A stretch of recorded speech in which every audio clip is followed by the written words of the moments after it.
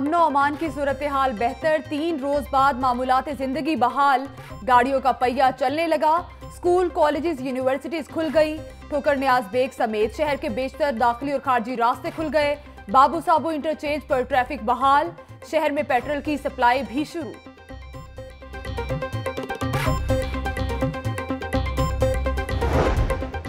हुकूमत के साथ मुजाकरात कामयाब। तरीके लब्बैक का धरना खत्म। धरना कायदीन और हुकूमती वफ्त में पाँच नकाती मुआदा तय पाया। आसिया बीबी का नाम फौरी तौर पर एग्जिट कंट्रोल लिस्ट में डाला जाएगा। आसिया बीबी केस की नजरसानी अपील पर हुकूमत एतराज़ नहीं करेगी। तहरीक में जो शहादतें हुई, कानूनी चाराजोई की जाएगी।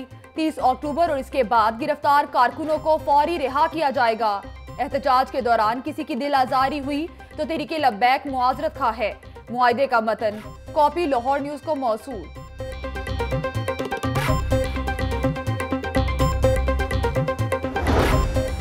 धरना कायदीन ने इदारों के खिलाफ जो बातें की, इन्हें अपनी गलती का एहसास हो गया।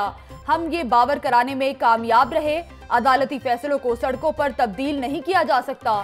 सब्र तहमुल का माहौल होना चाहिए। इसके बगैर मामलात नहीं चलते। सूबाई वज़ीर इतलात फ्याजुल हसन चौहान की लाहौर न्यूज़ से गुफ्तगू।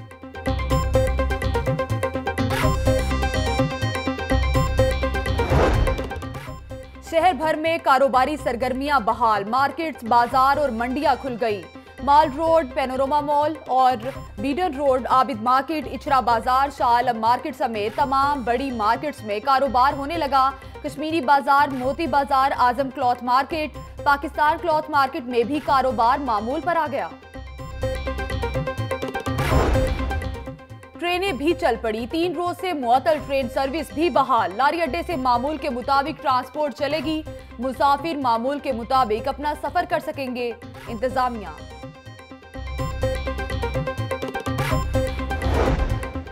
जस्टिस सदाकत अली खान पंजाब भर की इंसदादी दहशतगर्दी की खसूसी अदालतों की निगरानी करेंगे।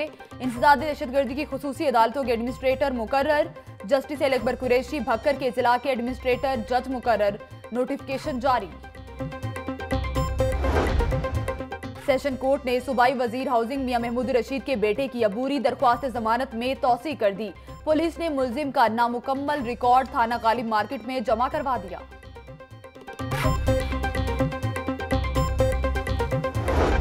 और स्टेज अदाकारा संगम राना कत्ल केस का तहरीरी फैसला जारी। सेशन कोर्ट ने दो रोज कबल तीन मुलजिमान को बरी करने का हुक्म दिया था।